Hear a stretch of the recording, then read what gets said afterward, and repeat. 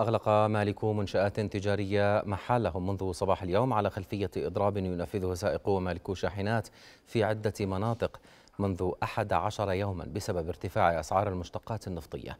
وأثر إضراب وسائل نقل عام وشاحنات على حركة التنقل وسط مطالبات بتخفيض الضريبة المفروضة على المحروقات خصوصا السولر وفي معان عقد اجتماع في مبنى البلدية بمشاركة وجهاء المدينة وشيوخها.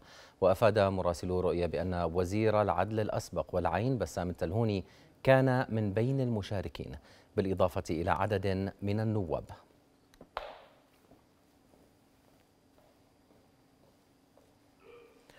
ولتفاصيل أكثر عن هذا الاجتماع الذي عقد في بلدية معان ينضم إلينا من معان مراسلنا إسماعيل السلاوي. مساء الخير إسماعيل يعني هل هل توصل المجتمعون في في البلدية إلى أي نتائج؟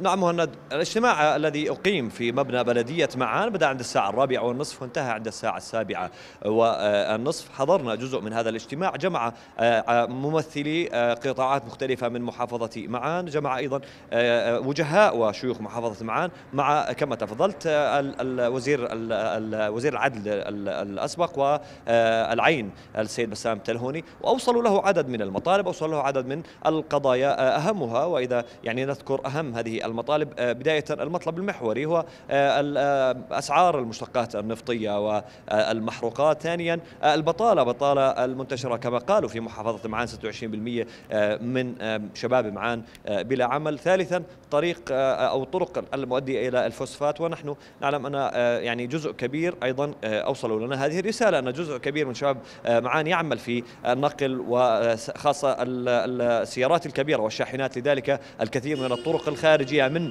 معان إلى محافظات نعم. أخرى وإلى مناطق أخرى غير معبدة ولا تصلح لي يعني السير بشكل طبيعي طبعا السيد التلهوني أكد لهم بأنها كل هذه المطالب ستصل إلى صاحب القرار بعد نعم. أن سجلها جميعا أكد أيضا على أن يعني وأصر على فكرة أن بإذن الله هذه المشاكل لها انفراجة قريبة وخاصة نعم. موضوع أسعار المحروقات وهذا على لسانه أنا أنقل الآن مهند على لسانه يعني أكد على أن كل أشكال المظاهر الاعتصام كانت سلمية وستبقى سلمية نعم. في محافظة معان كباقي المحافظات وهذا ما أكده لنا أيضا المجتمعون مهند نعم يعني إسماعيل نتمنى أن تكون هناك انفراجه وهناك حلول وتلبية لمطالب يعني المعتصمين. لكن إسماعيل يعني وجودك في في مدينة معان يعني عن أجواء المدينة هل هناك وجود أمني مكثف في مدينة معان؟ ماذا عن يعني إغلاق المحال التجارية؟ مهند بالبداية معظم المحال التجارية مغلقة. ربما يعني شهدت صيدلية عيادة ومحل واحد للخضروات. هذا في سوق معان. الكل ملتزم بالإضراب الذي بدأ صباح اليوم. حركة السير طبيعية تقريبا ولا أي مظاهر لا يوجد أي مظاهر تستدعي الوجود الأمني داخل المحافظة إنما هناك طبعا على على مداخل المحافظة وحتى يعني شاهدنا في أكثر من مكان. لكن أنا أعتقد أن الأمور طبيعية ولا يوجد أي أو ما يستدعي التدخل أو حتى الكثافة الأمنية. هذا بالنسبة للإضراب الذي بدأ صباح اليوم. أما بالنسبة للاعتصام هناك اعتصامين مركزي مركزيين. الاعتصام الأول هو لأصحاب الشاحنات والاعتصام الثاني هو أصحاب الحافلات أيضا المعتصمون ما زالوا في مكان اعتصامهم بشكل سلمي وأكدوا على أنهم مستمرون بهذا الاعتصام بكافة أشكال الحضارة ودون التجاوز. نعم. وطبعا هذا ما رصدناه مهند. من عمان إلى معان 220 كيلو تقريبا. أيضا كان الوضع طبيعي على الصحراوي مهند خلال رحلة قدومنا إلى معان. وبفضل الله الأمور تقريبا شبه طبيعية ونقلنا لكم ما رصدناه وما سمعناه. نعم إسماعيل السلاوي كنت معنا من مدينة معان شكرا جزيلا لك. ولليوم الثالث على التوالي عقدت لجنة نيابية حكومية أربعة اجتماعات في المجلس النيابي بحضور رئيسه أحمد الصفدي وذلك بحثا عن مخارج للاستعصاء في ملف قطاع النقل وأسعار المحروقات. وفي ختام الاجتماع الثالث غادر الفريق الحكومي ومجلس النواب إلى رئاسة الوزراء بعد الاستماع لمقترحات النواب بتخفيض أسعار الكاز والديزل وتأجيل القروض البنكية بجميع أنواعها. وقالت مصادر نيابية أن الجانبين اجتمعا مجددا مساء اليوم.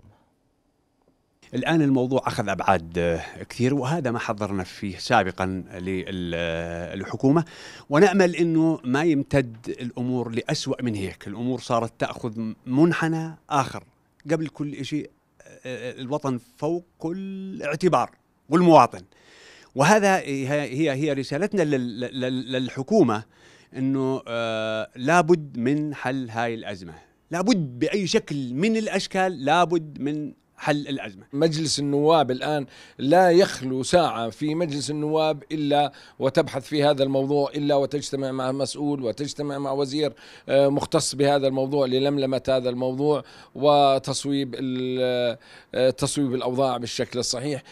نأمل أنه الحكومة إن شاء الله تقوم بالمساهمة بالمساهمة في خفض المحروقات والمساهمة في رفع أجور الحافلات وننتهي من هذه المشكلة إن شاء الله. على جانب آخر تعدد المرجعيات وضعف التنسيق يؤثران على تنظيم قطاع مركبات النقل العام بشقيها التقليدي المتمثل بالتاكسي الأصفر وشركات التطبيقات الذكية المنتشرة بكثافة. في ظل وجود 28 تطبيقا غير مرخص. بينما تشغل ست تطبيقات مرخصة بموجب قانون النقل العام قرابة 13 ألف سائق.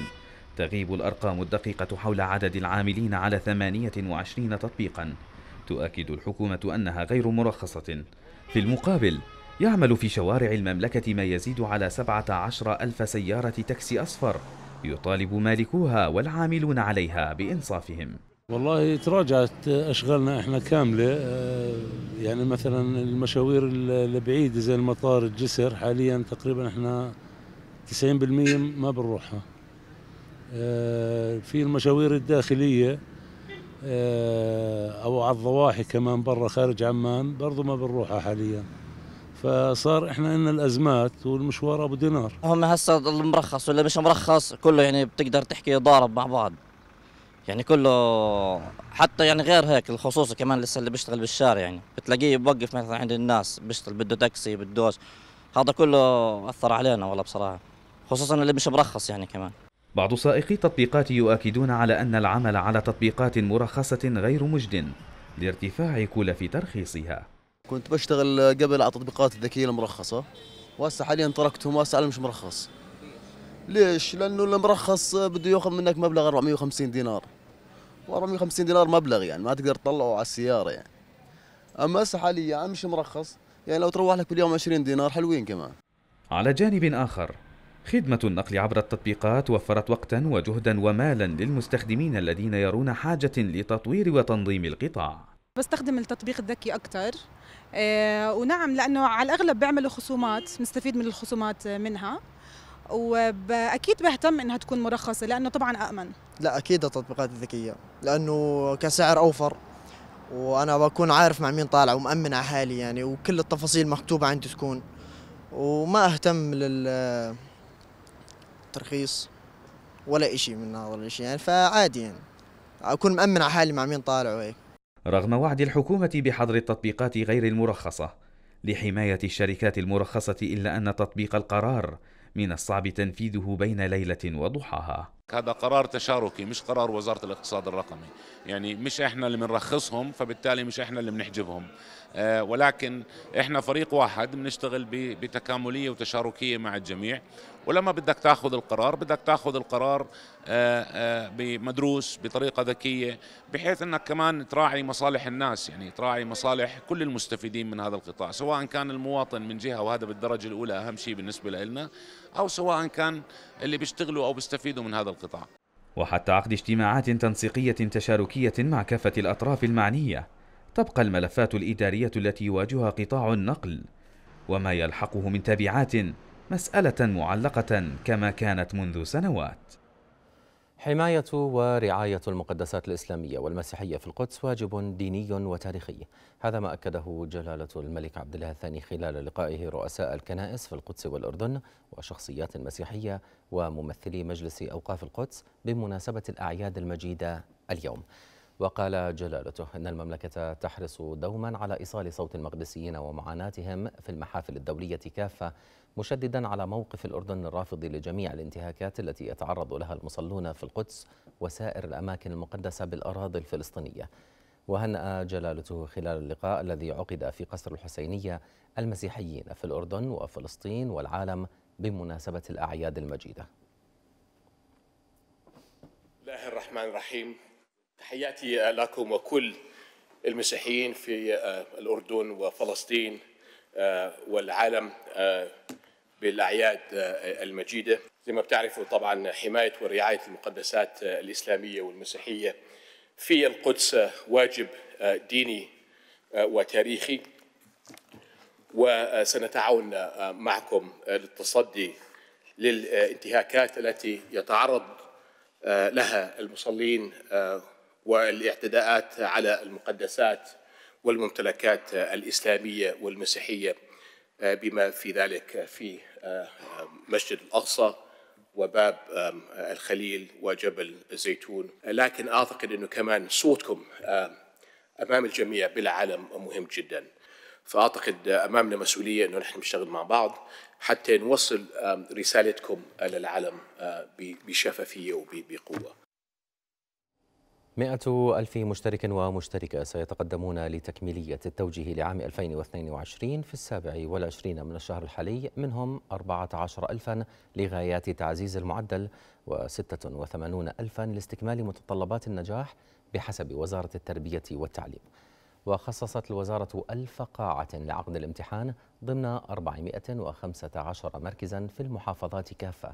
وتستمر امتحانات الدورة التكميلية لشهادة الثانوية العامة لمدة عشرين يوما. تنتهي في السادس عشر من كانون الثاني المقبل.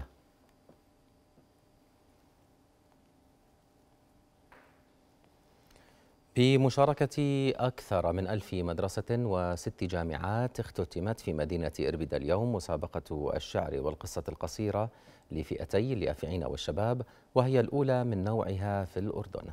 وقدم المشاركون بالمسابقة التي نظمتها وزارة التربية والتعليم نحو 600 عمل أدبي بين قصائد شعرية وقصص قصيرة بهدف إبراز مواهب الطلبة وتحفيز إبداعاتهم. وخضعت الأعمال المشاركة لتقييم لجنة تحكيم بعضوية أدباء أردنيين إلى جانب نظراء لهم من فلسطين والمغرب العربي.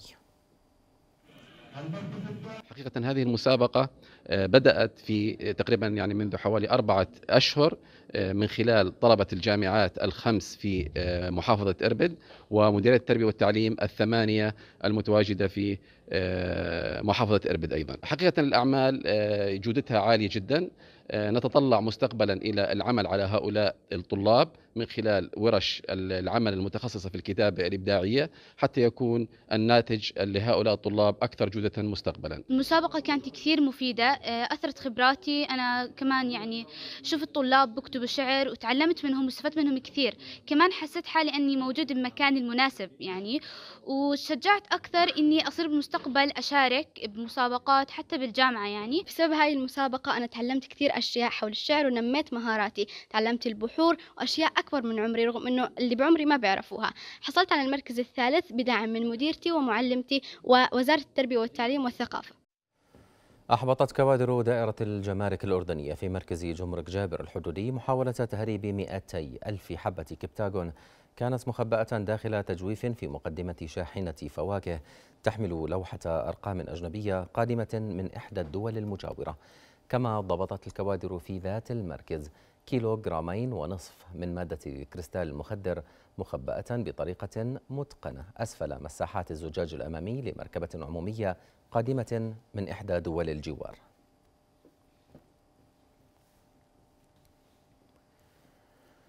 طالب أهالي لواء الوسطية في محافظة إربد تعجيل افتتاح المبنى الجديد لمديرية التنمية الاجتماعية وبدء العمل به لما سيقدمه من تسهيلات كبيرة بسبب موقعه الحيوي والاستراتيجي الذي يخدم قرى الوسطية.